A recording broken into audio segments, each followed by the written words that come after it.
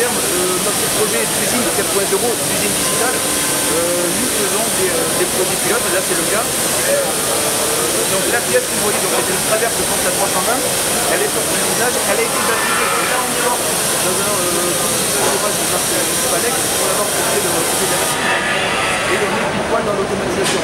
Donc là, grâce à nos partenaires électroniques au niveau Kobo, puisqu'on parle d'un Kobo, c'est-à-dire un robot collaboratif, aujourd'hui on est pile poil dans du 4.0 où l'homme est pris en compte dans l'environnement industriel. Le, le Kobo que vous pouvez voir, si je m'approche et que je touche, il s'arrête. Ce qui veut dire que demain, mon opérateur peut travailler en toute sécurité. Mon opérateur, mon contrôleur, mon, mon technicien maintenance par exemple. Donc là aujourd'hui, c'est la, la, pièce est sortie de, de débavurage, elle est posée sur un support blanc et le, le Kobo la prend, la met sur une machine de contrôle euh, Mitutoyo et contrôle automatisé